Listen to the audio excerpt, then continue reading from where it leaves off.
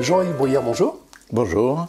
Alors Jean-Yves Bruyère, si je vous dis le franc-bourgeois, ça vous rappelle quelque chose? Oui, ça, ça, me rappelle euh, surtout les rayons de la droguerie de mon père, puisqu'il était marchand de couleurs, et donc il était installé à, à Tizy, euh, sous l'enseigne euh, la droguerie du Griffon.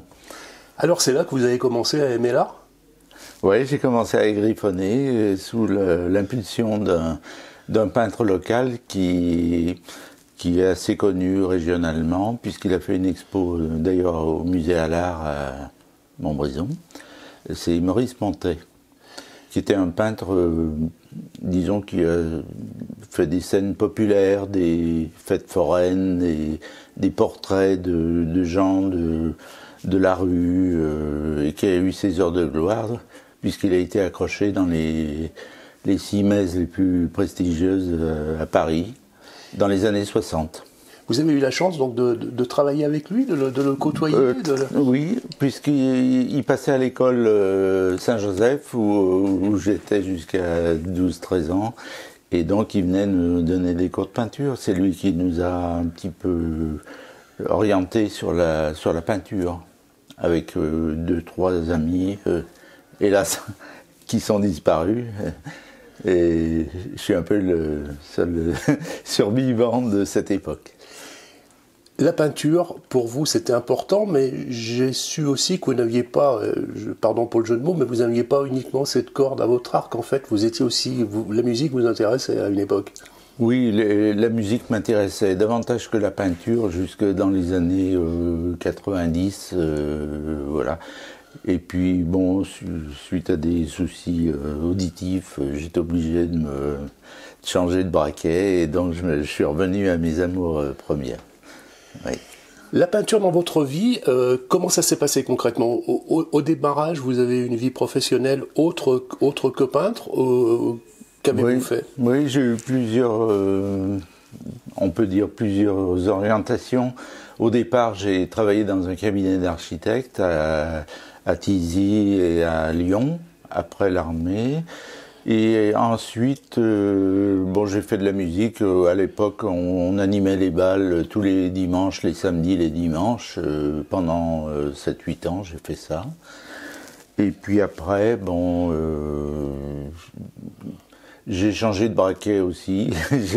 j'ai opté pour une carrière euh, commerciale, donc j'étais VRP dans un labo euh, de pharmacie euh, pendant 29 ans.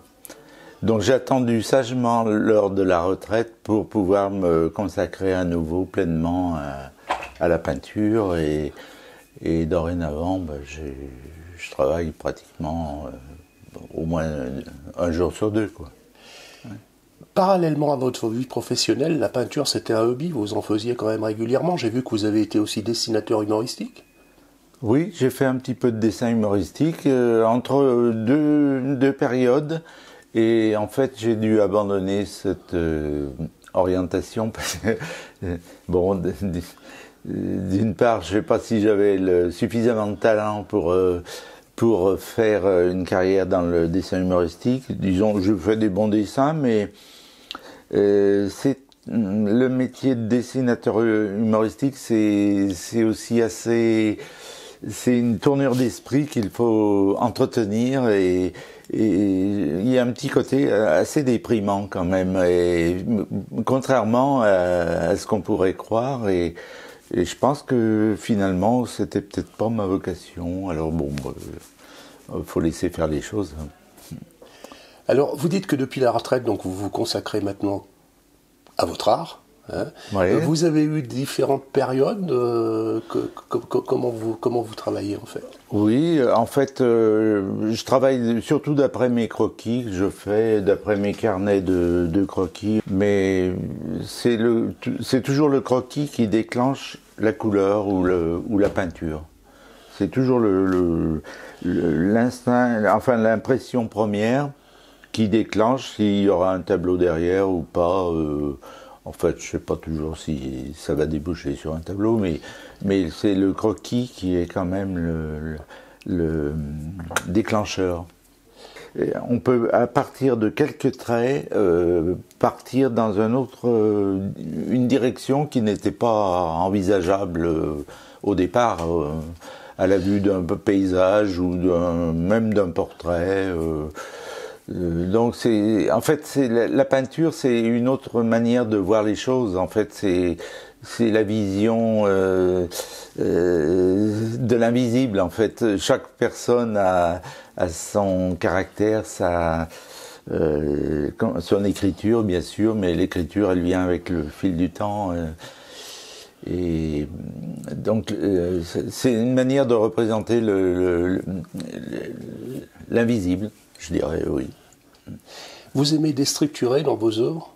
Oui, ben, ça fait partie de la même démarche. Hein. En fait, euh, euh, on, peut décomposer des, lignes. Ici, c'est le cas, par exemple. Euh, là, vous avez une lanterne marocaine. Bon, elle est déstructurée par rapport à la potiche, à, la vasque qui est derrière.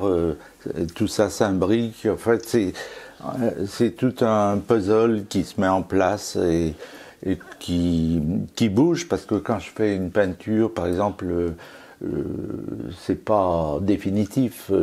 toutes ces formes là, elles s'imbriquent les unes dans les autres, mais c'est les couleurs aussi. Et donc c'est dès qu'on change un, endroit, c'est euh, il faut rééquilibrer ailleurs. En fait, c'est tout l'art de la peinture, quoi. C'est c'est c'est un puzzle permanent. Est-ce que vous travaillez sur plusieurs œuvres en même temps oui, oui, oui. Oui, euh, j'en ai toujours 4-5 euh, sur le feu, on peut dire. Et vous êtes, est-ce qu'il vous arrive euh, de reprendre par exemple une œuvre que vous avez faite il y a 5-6 mois, voire plus Ah bah c'est le cas là pour celle-ci là. Oui, oui, c'est le cas pour celle-ci. Et celle-ci, elle doit dater de 6-7 ans. Et lors d'un voyage au Maroc, à Taroudan, dans, dans un, une boutique de de choses anciennes. Euh, j'ai eu le coup de foudre. Alors bon, sur le moment, j'ai fait quelques croquis. J'avais pas trop le temps. J'ai pris des photos. Après, j'ai, je suis parti sur une gamme de bleu ici, euh, mais qui n'était pas forcément la couleur locale hein, du, du euh, de ce magasin. Et là, vous la reprenez parce qu'elle vous convient plus. Au ben, bout de, les choses ont évolué dans le temps. Dans, l'ensemble, je change pas trop la structure, mais il y a des choses euh, qui me plaisent plus ou moins. Alors donc, il euh, euh, faut que je la remette en accord avec le, ce que je fais maintenant, quoi. Vous parliez tout à l'heure de la musique et puis finalement c'était votre ce que vous souhaitiez faire au départ parce que ça vous amenait des choses. La peinture sans peinture, vous pourriez vivre maintenant? Enfin, vous verriez, vous vivriez différemment? Ça vous apporte quoi? La peinture sans peinture, c'est-à-dire vivre de vivre sans peinture. Sans peinture, euh, ça serait difficile parce qu'en fait c'est un, un moyen d'expression. Euh, Bon, euh, d'autres ont l'écriture, la parole, euh, l'éloquence. Euh, moi, c'est pas mon cas, mais, mais, mais j'ai besoin de d'exprimer les choses. Alors, la musique, ça a été la période où j'ai fait de la guitare, et voilà. Mais maintenant, c'est plutôt le, le graphisme. Au départ, c'est le graphisme et la couleur. Quelles sont vos couleurs de prédilection? J'en ai pas bon, j'aime bien les, les, les, bleus, les, les, verts, mais dans les rouges, ça, je suis à l'aise aussi, mais il n'y a pas de couleur préférentielle, mais c'est l'assemblage des, des, des, couleurs, les, les, valeurs entre les couleurs qui est en fait intéressant. Parce qu'on peut très bien faire un, une très belle œuvre avec euh, du noir et du blanc. Hein. Pourquoi pas hein. D'autres l'ont fait. Alors Jean-Yves, vous êtes un artiste reconnu, donc Montbrison a la chance donc de vous de vous accueillir pour cette quatrième biennale. Euh, c'est quelque chose d'habituel pour vous aussi, d'habituel pour vous d'être invité d'honneur? C'est pas la première fois que vous êtes invité d'honneur sur un salon? Non, parce que, bon, je sais pas si je suis reconnu, mais il y a tellement d'artistes. En fait, euh, bon, j'ai fait, oui, j'étais invité à Chamalières, euh, à Clermont-Ferrand, à Bourges, euh, enfin, dans différents, à Lyon aussi.